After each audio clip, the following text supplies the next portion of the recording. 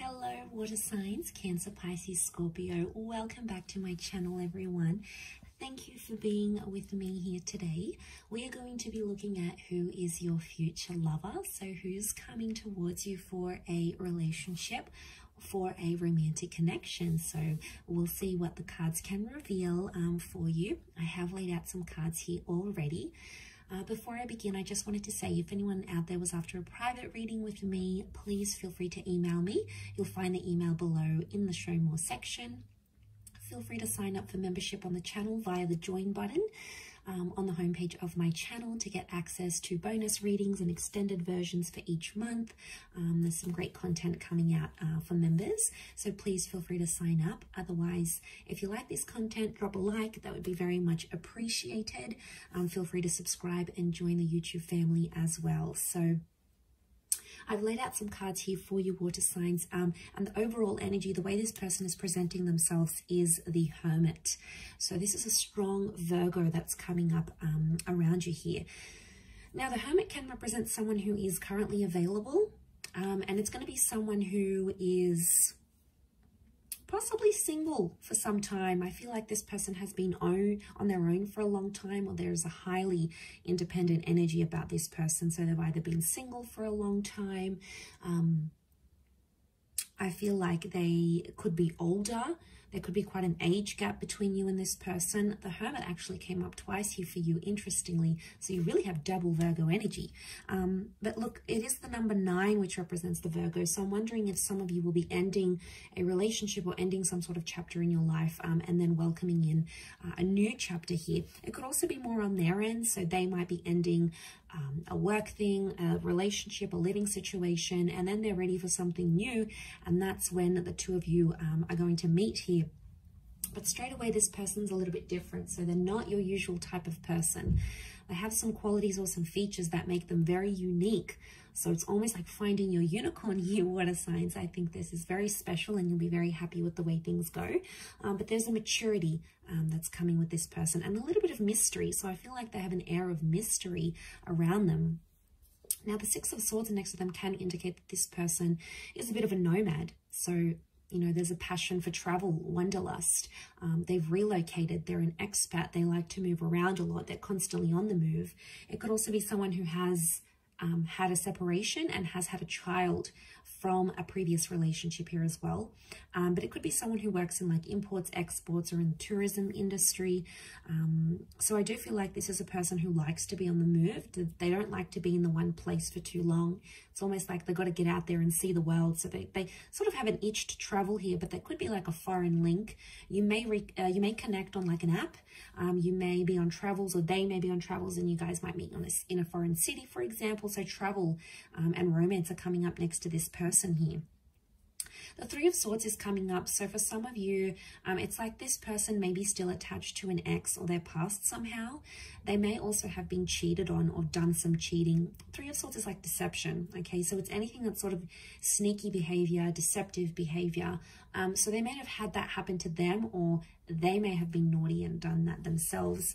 Um, but I feel like it could also be like a love triangle. So you might notice when you hook up with this person or when you connect with them, they may talk about their ex a lot, or they may have recently come out of a relationship, or they're still going through a legal, uh, a divorce or a separation of some kind. They still will carry some sort of baggage here with them. I mean, yes, you'll have to be patient and give this person a chance to prove their love and, and you know, they'll show you the signs if they're truly ready for a commitment because you have that two of cups which has come up which uh, can very well indicate that this is a twin flame soulmate connection. It's also very strong Leo energy. So Leo has come up twice. So for a lot of you, there's definitely a Leo female or male out there who's destined to be your person. Um, it would indicate a face-to-face -face meeting. And I'm also seeing that this person um, is wanting a love relationship. There's something about an engagement. So the two of you might get engaged very quickly. You sort of, you know, might elope. You might sort of run away and just be head over heels for one another um, and want to do that together. Um, but I also feel like they are able to offer you a committed and loyal relationship. Um, for some of you, just be careful though. It could be that this person's a bit of a player and they may have someone else on the side here that they're still not over. So you might have to um, might have to check that out. But I feel for the most part, um, this person is more of a relationship person rather than a person that sort of like just likes to sleep around or likes to hook up. Probably not too big on the hookup culture. They tend to be a little bit more serious, um, but you're going to be very attracted because they're coming up as um, the Empress. So this person has features and qualities that you absolutely love. Like if there's a certain feature, like you like blue eyes or you like dark features or you know, something that you admire or that just really gets you going, this person is going to have, and you won't be able to like keep your eyes or your hands off of them. Um, so this is really delicious. The Empress, again, pregnancy, sexuality, really strong sexual chemistry between the both of you. Um, you'll enjoy being intimate with this person very much so. Uh, and I feel like also with the Empress, they have a motherly energy. So they're going to be really caring. They're going to look after you. They'll want to cook for you, pack your lunch, iron your shirts, um, get you flowers, be the homemaker, be the be the breadwinner. The Empress is she likes to look after things. So this is someone who's really gonna love looking after you and you are going to absolutely love this water signs. The emotional love you're going to get from this person is unprecedented. Like you possibly never even felt it before with the Empress. And in a way, they might mother you, but you're going to like it because you know they'll ch they'll check you uh they'll check up on you they'll bring you lunch at work uh they'll remember that packet of food that you like and, and get it for you. So there's a thoughtfulness here to them but they're also very attractive. So like you marry that two together and it's like you know you found someone super super special here. Bit of a disclaimer here eight of swords is coming up in their reading as well so i reckon they may be a little bit anxious. Um, eight of swords is someone who sort of does make up scenarios in their mind sometimes, or it's someone who just maybe has been hurt before and they may be scared that you might do the same thing. So they may display at times some behavior that almost comes across as self-sabotaging or they may not know how to handle themselves in certain situation. And you know, when we get anxious, it happens, right? We, we lose self-control or we're scared someone's going to leave us or abandon us or hurt us.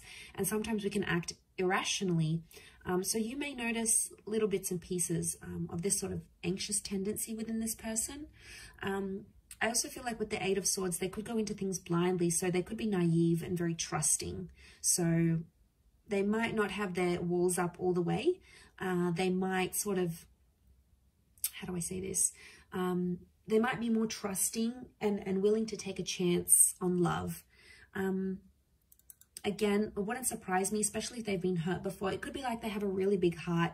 They have a lot of love to give. Um, they mean well, but I think maybe sometimes the way they come across at times, it's like they come across as anxious. And maybe they've been abandoned. Maybe they've been really hurt. Maybe they've done the hurting before and they know they know how it's done. Um, and for them to get played it's like you know it's not on. So they, they get scared. Um, and it's not that maybe they don't trust you. They might not trust themselves. So look out for that one there. Um, just got a blindfold on so this person. Like may have glasses or like vision problems.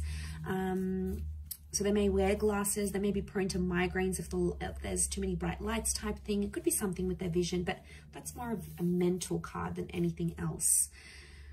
Uh, the next card we have is the Strength card. So again, this Leo energy, this person's got a strong personality. Like they're mysterious, I, but I do think like they're alpha, okay? So they may, they're, they're, more independent here.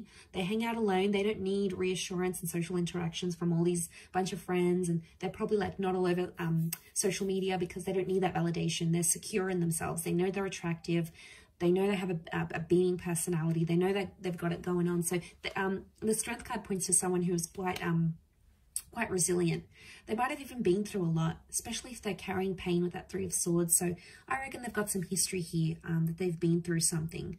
Uh, okay, so they take initiative. They could be in a leadership position at work. So they might be like a manager, a boss lady, um, an entrepreneur. They could be someone who is really ambitious. Um, it's like they've got a leadership quality to them. So they could be like an oldest sibling, an elder sibling. Um, they could be someone who, again, they're a caretaker. They like to look after people. They like to look after tasks. And I'm not surprised to see that they're, they sort of fall into that strength role. Uh, so, you know, that's not surprising. Look, they could be really big on like fitness as well You know, they may be like gym junkie. They could love to work out. They could be very athletic. Strength can speak of like strength of mind, strength of body, strength of soul. So I feel like they do something or they have like a habit. Um, they do something that keeps them busy uh, and it keeps them motivated. So it, it works for them, right? This is something that works for this person. But strong personality, strong energy, they've got a strong presence. So it's like as soon as they step out, people look at them. They're charming, they're engaging, um, you know, and because they're not like the typical person that you see, like they're not the typical guy or gal, that's why they're coming across as so rare. It's because not everyone has had them. Um, you know, there's, there's a classiness maybe to this person here as well. Eight of Cups again. So uh, this is the moon here. So Cancer, this may be more for you or there may be a destined Cancer um, or they ha may have Cancer in their chart like a Cancer, Sun, Moon, Rising, Venus with that moon card. Um, the moon can be like they have psychic ability. So maybe they're a clairvoyant.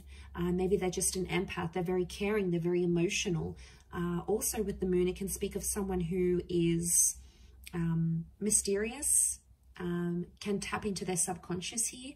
But it can also be something from the past. So for some of you, this person may be an ex, okay? It may be someone that you were emotionally attached to once upon a time.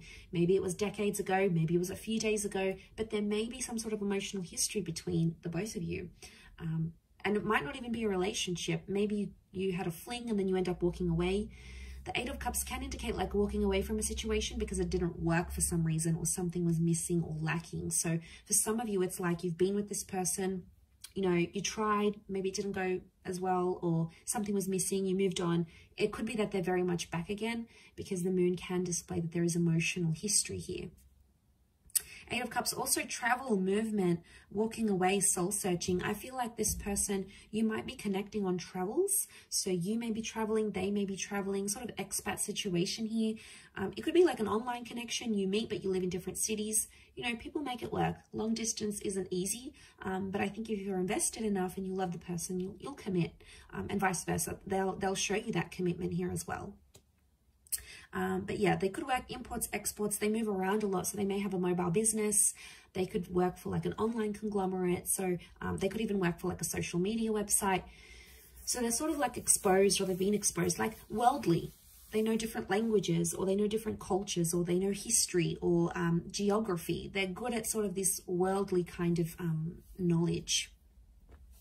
The next card over is the Ace of Wands. So for some of you, it is someone brand new and you are yet to meet them. So that's exciting. That's That could be part of the mystery uh, that's coming up, water signs. Now, strong phallic symbol here. So for a lot of you, I'm thinking that you hook up physically and then more and more happens, or it's like instant physical attraction. Like the minute you see them, you start undressing them with your eyes kind of stuff. Okay, this is, you know, this is heavy stuff. Like, um, but it works because it's going to be more than just attraction. There's going to be love and compatibility here.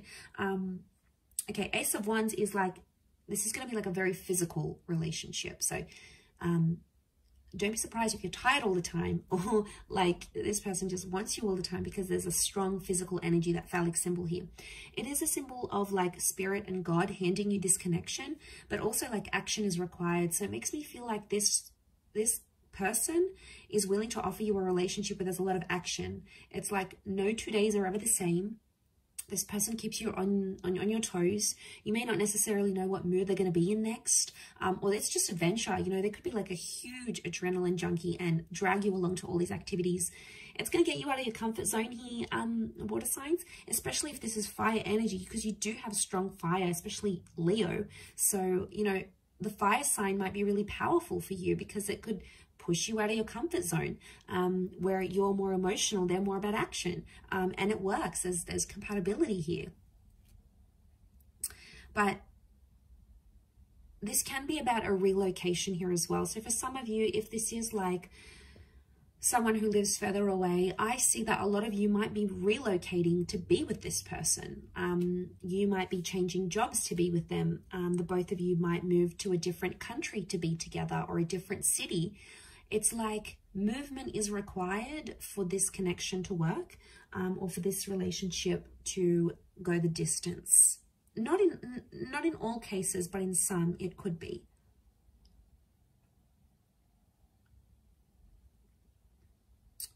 could also be that they're very active, like an active energy. They're not really shy or reserved. They probably like do a lot during the day. Um, maybe they're just high on energy, like they're high on life. They've got a very like buzzed personality. Could be that as well. Okay, let's suss out the next card. Four of Pentacles. Again, I feel like they this person is very picky with the people they spend their time with. So I think they've probably like lost some friends or they've they've been through life enough to know who's worth their time and who's not. Four of Pentacles is they're picky. They're picky and they're selective. So they've got high standards maybe. Um, could also be that they're in, a, in the corporate realm. So they work with money or finance um, or like these big companies this person may not be very spendy, so they might not be very flashy. Like they could be very budget conscious. Um, they like to count their money. Not that they're not, like not that they're frugal, but it's like um they like their money where they can see it. Okay, they're not like an overly big spender. Yes, they have an adventurous side, but it's more in moderation with this person. They're not all about oh let's have a good time. Um, it's more like they can be sensible in that regard um, with the Four of Pentacles. They are looking to settle. I do feel like they are ready for that um, and they possibly will want that here with you. Um, they could be clingy. Okay, Four of Pentacles is clingy. So once they meet you, they'll want to keep you. They'll want to share you. They'll like show you off to the world, let everyone know you are in a relationship together. I mean, that's just who they are. It's possibly in their nature. Um, but they might be possessive because Leo is coming up. So Leo energy is very jealous and very possessive, especially if they're Leo. Um, Leos can be very possessive. Okay, they they you know can have like explosive bouts of possessiveness or jealousy. Um, not all, but it's territorial. Okay, they they may have a territorial nature. And then you have Virgo again. So you have the Hermit twice. It's got to mean something here. Um, and you have a lot of eights around this person. This is a really good sign. Uh, so, okay, um, the Hermit could be older. Okay, the hermit is that older figure. Again, they're non-conventional, so they don't go they don't go with the flow. What the crowd does, what the majority does, they're in they're in the minority. So it's not like there's a trend, everyone's doing it, whether it's cool or not. You know, this person doesn't do that. They live by their own rules, their own trends. That's what makes them unique. And that's what makes people admire them because they're not like everyone else.